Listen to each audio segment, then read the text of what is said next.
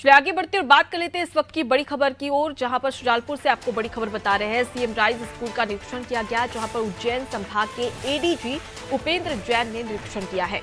ADG ने engineering और अधिकारियों से बातचीत की और इस दौरान काम में लापरवाही के चलते उन्हें जमकर फटकार भी लगाई है।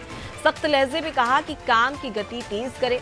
45 करोड़ की लागत से सीएम राइज स्कूल बन रहा है, जहाँ पहले भी गुणवत्ताहीन काम का मुद्दा उठाया गया था। और उस पर सवाल भी उठे थे, और इसी दौरान उज्जैन संभाग के एडीजी उपेंद्र जैन ने सीएम राइज स्कूल का निरीक्षण किया। लापरवाही इसमें देखने को मिली, जहाँ पर एडीजी ने इंजीनियर और अधिकारियों को फटकार भी लगाई है, और सख्त लहजे में ये कहा है कि काम की गति तेज करें।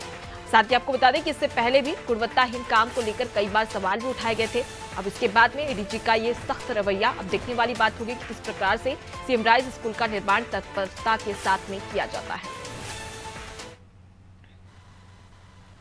चाल है मतलब आगे दिख रही है ना?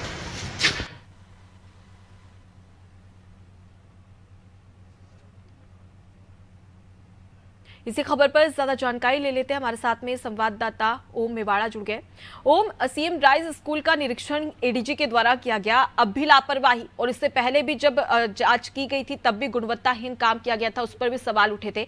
ऐसे में आगे क्या माना जा सकता है कि क्या ये जो फटकार लगाई है, वो कहीं ना कहीं काम आएगी?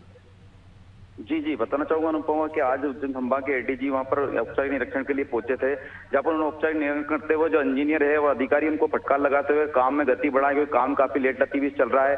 कई बार मीडिया में सीएम राय स्कूल की चर्चा भी हो रही थी, कई बार भ्रष्टाचार के आरोप भी लगे थे गुणवत्ताहीन काम हो रहे थे, पहले भी खबरें का विस्तार बना हुआ था। आज जब उज्जैन संभाग के एडीजी तत्काल वहाँ पहुँचे और उन्होंने सारे कामों का जायजा लिया तो इंजीनियर से लेकर सारे जितने भी अधिकारी उनको फटकार लगाते हुए कहा कि काम को तीव्र गति दे और काम को उचित काम से किया जाएगा। मैं किसी भी चीज़ को बर्दाश्त नहीं किया जाऊँगा। अगर कोई काम में गुणवत्ताहीन पाई जाएगी तो तत्काल कार्रवाई करूँगा। यह बात उनने कही और जब मीडिया ने उनसे चर्चा करने की कोशिश की तो एडीजी साहब ने मीडिया से भी दूरी बनाई क्योंकि उन्होंने कहा है कि जिन जो काम कर रहे हैं उन्हीं का उन्हीं का वर्जन दिया जाए तो बहुत अच्छा रहेगा। अनुपमा। ओम ये जो सीएम राइज स्कूल का निर्माण किया जा रहा है ये इसके इसे लेकर कितना समय हो चुका है? और आने वाले समय में प्रशासन ने क्या टारगेट सेट करके रखा है कि कब तक इसका निर्माण पूरा हो जाएगा?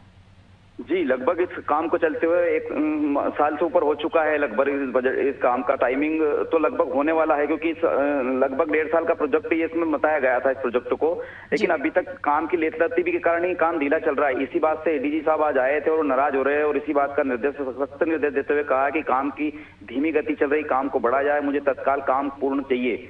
यही सख्त निर्देश आज एडीजी ने दिए बिल्कुल। तो अब ऐसे में उम्मीद की जा सकती है कि एडीजी की फटकार के बाद में कहीं ना कहीं इंजीनियर और अधिकारी अब तत्परता से काम करते हुए भी नज़र आएगी और कहीं ना कहीं वो जो धीमी गति से काम चल रहा है, उसमें तेज रफ्तार भी देखने को मिलेगी। फ़िलहाल के लिए बहुत शुक्रिया हो तमाम जानकारी हम तक पहुँचाने के लिए। देखिए सीएम राइज स्कूल का निरीक्षण करने के लिए एडीजी पहुँचे। करीब एक साल से सीएम राइज स्कूल का निर्माण हो रहा है, लेकिन वो अब तक पूरा नहीं हो पा रहा है। काम में काफ़ी लेट लतीफी और लापरवाही भी बढ़ती जा रही है। और इसी के चलते एडीजी का ये निरीक्षण, जिसके मद्देनजर काम में गति को लेकर उन्होंने सख्त लहजे में कहा है कि काम में तेज गति लेकर आए और इस दौरान इंजीनियर और अधिकारियों को फटकार भी लगाई है।